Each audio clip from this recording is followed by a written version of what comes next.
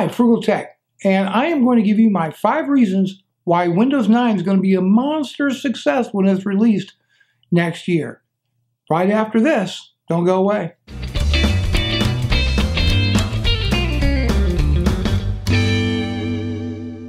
Hey, thanks for uh, joining me today, and we always appreciate it when you like our videos, plus one of them, share them.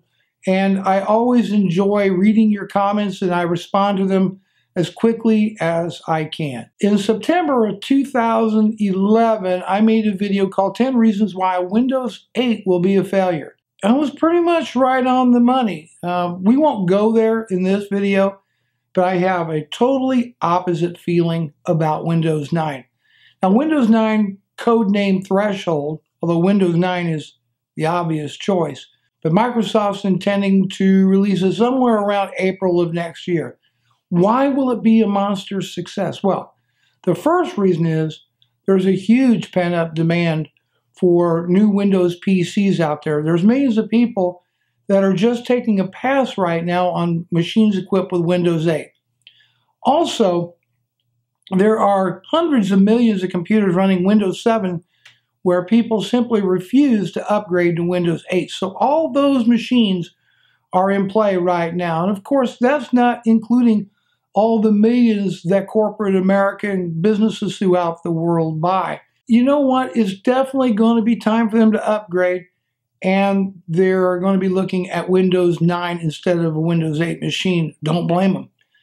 The second reason, you know, Microsoft's learned from its mistakes. They listened to some of the wrong people in the beginning with the release of Metro and the, you know, the uh, no start menu and all that sort of stuff. So they've learned a thing or two, and they're not about to repeat the same mistakes. As a matter of fact, the start menu is coming back, of course.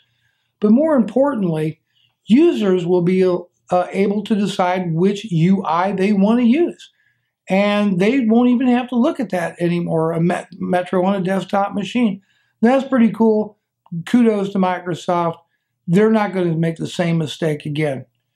Reason number three much like Windows 8, I fully anticipate the upgrade price, at least early on, to be no more than the $40 they charge for the upgrade to Windows 8. There's even rumors that it might be free for owners of Windows 8.1. I wouldn't put a lot of stock in that, but you never know. But given that huge pin up demand plus a very low price to upgrade for existing Windows 7 machines and Windows 8 machines, pretty much a no brainer. Reason number four Windows 8 is technically a brilliant operating system. It's fast, it's smooth, it's stable. Really, the problem tends to boil down to two things Metro and the lack of a start menu.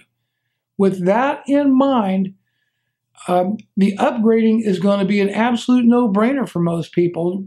Expect to see even more improvements in speed, stability, and security in Windows 9, in addition to more support for and better support for things like DirectX 12 and a new version of Metro, Metro 2.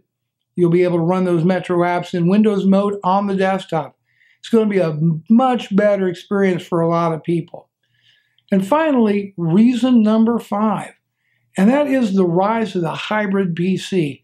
These machines make a tremendous amount of sense for a lot of people. It can be a tablet or a great Ultrabook. Something like the Surface, but not quite. I don't think Surface 3 is quite there yet for the everyday person, but they're coming. And businesses are going to love them. They're going to save them a lot of money because why? It's a tablet and an Ultrabook all in one. It makes a tremendous amount of sense. This is going to create a hot new market. PC sales, the uh, the fall of those have stabilized, and we're actually starting to see an increase. Not to mention all the millions of PC enthusiast gamers, everybody that's out there that can't wait to get their hands on a new and improved version of Windows, which will be Windows 9. This is going to be create a new market, these hybrid PCs. I guarantee it. People are going to love them, and it's going to be uh, creating quite a reason to go out and get a new machine that'll be running Windows 9. You know what, Apple? Love your stuff, but Cupertino, you need to fire up those copiers. Bruce Naylor, I'll talk to you later.